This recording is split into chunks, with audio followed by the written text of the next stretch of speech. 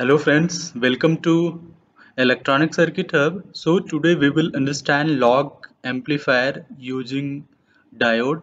So we will understand the circuit flow in LTSpice. We will run the simulation and we will see the output waveforms. We will see the actual result of this circuit okay we will run the transient analysis and we will see the output voltage output waveform and we will match with the theoretical value. This is the theoretical value right? So we have already seen log and anti-log amplifier in my previous tutorial previous video. We have already seen that why do we need log amplifier and why do we need anti-log amplifier and what all are the application of log amplifier and anti-log amplifier so in this video let us uh, let us understand the design part less in LTSpice and then we will run the simulation and see the behavior of output voltage okay? So this is operational amplifier LT1368 1368 the positive supply is connected to the V1 this is 15 volt. The negative supply is connected to the V4 this is minus 15 volt.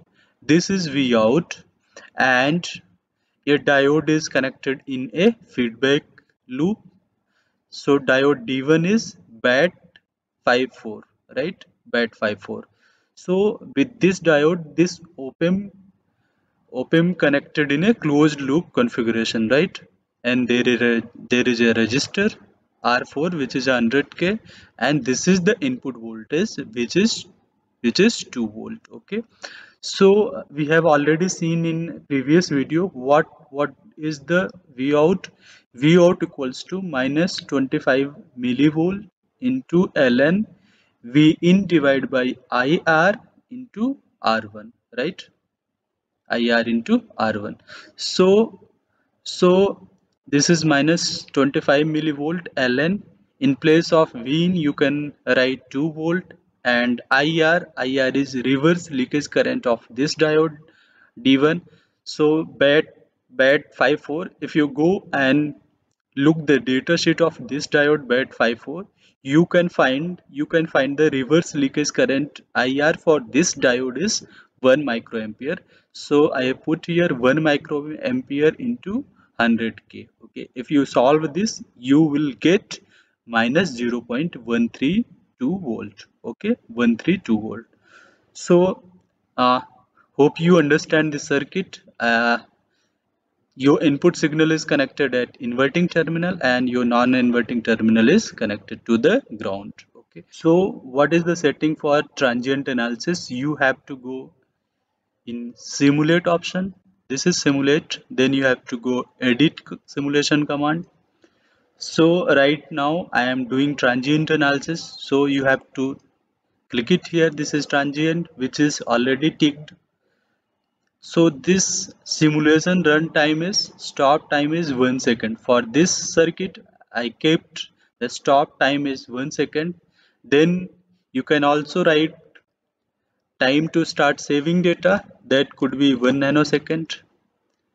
Okay maximum step size that could be also 1 nanosecond and you have to tick skip initial operating point solution. That should be tick. Click it. Ok this is your transient command. So you can see this is your transient command. Now you have to go here. This is the run button. Go run button. Okay. Uh, if you want to look the input voltage so this is the input voltage which is 2 volt. And now you want to check you want to check the output voltage right? So uh, I will cut it here. I will go again here to edit this command. So I will remove this. This is blank to run simulation faster. So I will remove this. This is blank and this is blank to run simulation faster because it was running slower. Then I will again run. This is input voltage 2 volt. You can see this is 2 volt and this is output voltage. So you can see your output voltage is 130 137.20 millivolt minus 137.20 millivolt. So what was the your calculated value? Your calculated value was minus 132 millivolt. Now you are getting minus 137.9 millivolt. So you can see here you are getting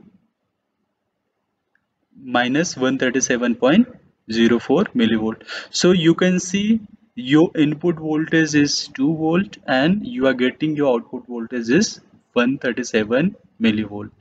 So hope you understand hope you understand how do we design a circuit in LTSpice how will you design your log amplifier by using diode in LTSpice and how will you run the simulation and you will see the behavior of output waveform. If you have any question, feel free to ask me in comment section. Thanks for watching this video.